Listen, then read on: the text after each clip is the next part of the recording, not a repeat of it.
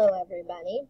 For week 4-3, we are going to work on helping verbs. So thinking back to last week, it was all about linking verbs, verbs that connect the subject with something about the subject.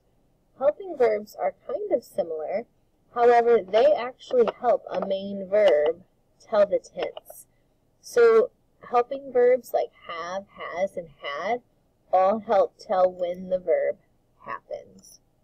So taking a look here, sometimes a verb can be more than one word.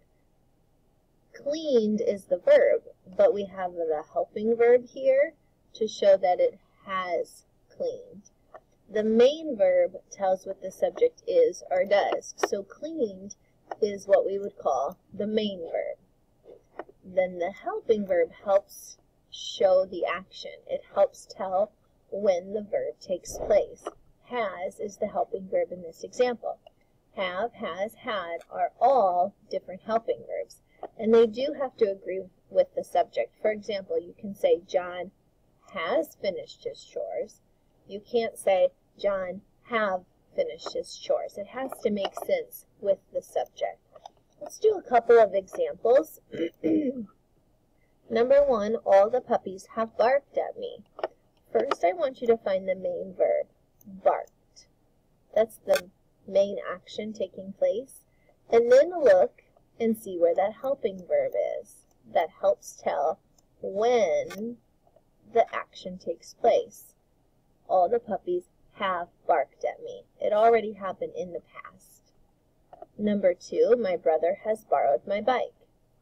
Borrowed is my main verb. Has is the helping verb.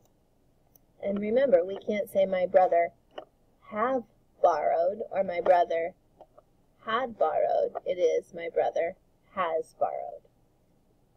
It has rained all day. Where's my main verb? Rained. And what's the helping verb? Has. Last one, number four. We had asked for help with our homework. Asked is our main verb had is our helping verb. So that's what we'll be taking a look at this week. In your uh, worksheet, you just simply need to choose which helping verb fits in the sentence. Try them both out and listen to which one makes sense. We'll do number one together. Spartina blank turned into a problem. Spartina have turned into a problem or Spartina has turned into a problem. Right. Spartina has turned into a problem. Use the skill box up at the top if you need to remember what you're working on and really listen to which one sounds right. Last one we're going to do together is number two. It blank lived in Washington since the 1800s. It has lived in Washington since the 1800s or it have lived in Washington since the 1800s. Again, you need the helping verb has. It has lived. Go ahead and finish numbers 3 through 15 and then come on back and correct.